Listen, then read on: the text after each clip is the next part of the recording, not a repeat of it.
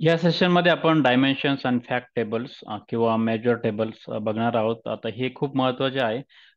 कारण की जेव्हा आपण डेटा मॉडेल डिझाईन करतो तेव्हा आपल्याला डायमेन्शन्स आणि फॅक्ट टेबल्स माहीत असणं गरजेचं आहे. तर नेमके डायमेन्शन टेबल्स म्हणजे काय आणि फॅक्ट टेबल्स म्हणजे काय ते आता आपण बघूया. कोणत्याही डेटा मॉडेल जर कन्सिडर केलं तर दोन गोष्टी खूप महत्त्वाच्या आहे फॅक्ट टेबल्स आणि डायमेन्शन टेबल्स आता फॅक्ट्समध्ये काय असतो ना ऍक्च्युअल डेटा असतो आणि डायमेन्शन्समध्ये लुकअप व्हॅल्यूज असतात. त्या म्हणजे नेमकं काय? इथे फक्त एक गोष्ट लक्षात घेणे गरजेचं आहे की बऱ्याचशा डेटाबेस टर्मिनल टर्मिनॉलॉजीमध्ये फॅक्ट्सला मेजर्स म्हणतात किंवा मेट्रिक्स म्हणतात. म्हणजे जर तुम्हाला कधी कोणी म्हटलं की फॅक्ट्स फॅक्ट्सच्या ऐवजी मेजर शब्द वापरला किंवा मेट्रिक शब्द वापरला तर समजून घ्या की ते फॅक्ट्सबद्दल बोलताय तर कधी कधी असं होतं की इंटरव्ह्यू मध्ये गेलं आणि त्यांना बरेचसे जे दुसऱ्या टूल्समध्ये काम केलेले लोक असतात ते कधी कधी मेट्रिक्स म्हणतात कधी मेजर्स म्हणतात तेव्हा आपण कन्फ्युज न होता फॅक्ट्स बद्दलच उत्तर देणं अपेक्षित असतं.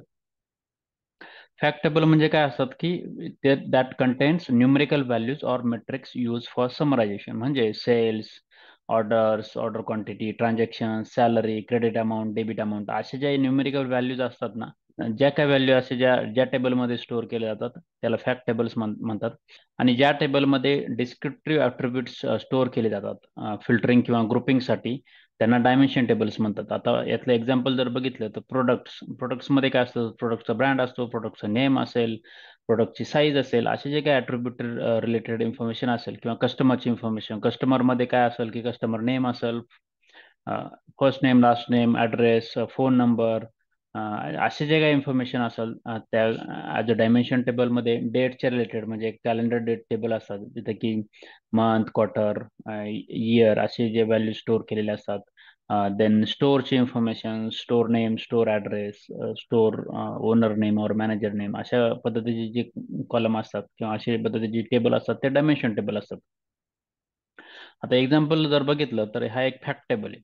तर फॅक्ट टेबलमध्ये दररोजचे जे ट्रान्झॅक्शन होतात म्हणजे आता एक मी रिटेल इंडस्ट्री घेतली. एखादा किराणा मालाचं दुकान जरी घेतलं आपण तर त्याचे रोजचे रोज काहीतरी काही ट्रान्झॅक्शन होत असतात. म्हणजे जर एक प्रोडक्ट जर आपण कन्सिडर केला कोणता एखादा प्रोडक्ट कन्सिडर केला म्हणजे लेट से टूथब्रश टूथब्रश हा एक ब्रँडचा असेल तर त्याची क्वांटिटी आज दहा सो सेल झाली तर त्याची डेटवर असेल. म्हणजे एक तारखेला सपोज एट सिक्स नाईन हा एक टूथब्रशचा प्रोडक्ट आहे त्याची क्वांटिटी पाच सोल्ड झाली. परत हा दुसरा प्रोडक्ट आहे त्याचे तीन. अशी रोजची रोज असतात. ही एक तारखेचं आहे. अजून दोन तारखेचा असेल तीन तारखेचा असेल. मग जो काय असा डेटा असेल तो ट्रान्झॅक्शनल डेटा असेल. म्हणजे रोजचं जे आहे ट्रान्झॅक्शन म्हणजे किती क्वांटिटी सोल्ड होती ते इथे ह्या टेबलमध्ये असतात. हे एक फॅक्ट टेबलचं उदाहरण झालं. जे रिटेल इंडस्ट्री किंवा एखादं प्रोडक्ट रिलेटेड इन्फॉर्मेशनचं असेल. जर हेच जर आपण बँकिंग सिस्टमचं कन्सिडर केलं तर बँकिंग सिस्टममध्ये कसं असतं ना एक अकाउंट नंबर असतो त्या अकाउंटच्या अगेन्स्ट रोजचे काही क्रेडिट होतात काही डेबिट होतात. म्हणजे कोणी लोक येतात पैसे डिपॉझिट करतात किंवा कोणी विथड्रॉ करतं. असे जे ट्रान्झॅक्शन्स होतात ते इन अ फॅक्ट टेबलमध्ये स्टोअर होतात.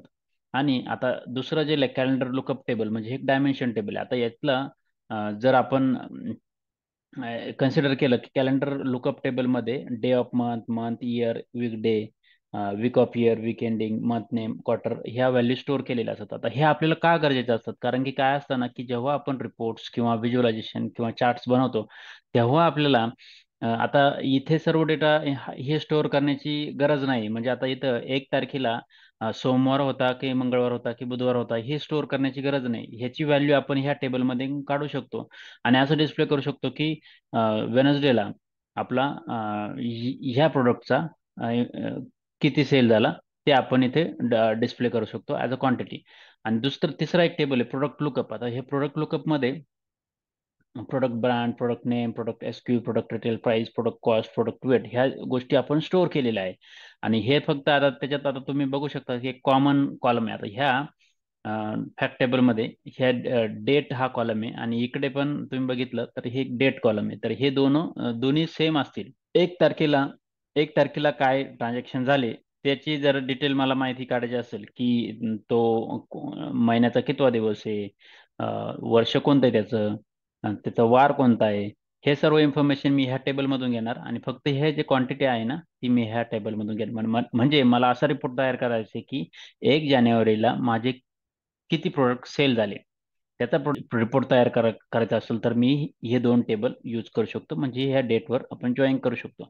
आणि अजून एक इथे प्रोडक्ट आय डीवर येणार. ह्या प्रोडक्टला लुकअपला तर इथं बघू शकतं की हा प्रोडक्ट आय डी आणि हा प्रोडक्ट आय डी ह्या की असतात. की प्रायमरी की फॉरेन की म्हणतो ना आपण त्या टाईपच्या कीज असतात ज्या एकमेकाला आपण जॉईन करू शकतो डेटा मॉडेलमध्ये जेणेकरून आपल्याला आता इथल्या कोणता एखादा प्रोडक्ट घेतला म्हणजे जर आपण इथं बघितलं चार नंबरचा प्रोडक्ट आता इथं काही समजत नाही आपल्याला चार नंबरचा प्रोडक्ट म्हणजे काय ह्या टेबलमधून की कोणता आहे याचं नाव काय ते बघण्यासाठी आपल्याला काय करावं लागेल? ह्या टेबलमध्ये यावं लागेल. आणि इथं चार नंबरचा प्रोडक्ट काय तर वॉशिंग्टन क्रीम सोडा. असं प्रोडक्टचं नाव आहे मग ही इन्फॉर्मेशन आपण इथून काढू शकतो की याचा एस क्यू कोड काय आहे त्याची प्राइस किती रिटेल प्राइस प्रोडक्ट कॉस्ट किती आहे त्याचं प्रोडक्ट वेट किती ह्या सर्व इन्फॉर्मेशन आपण एका टेबलमधून काढू शकतो. त्यासाठी आपण ह्या की आहे ना ही प्रोडक्ट आय डी आणि ही प्रोडक्ट आय डी या दोन टेबलला आपण जॉईन करू शकतो.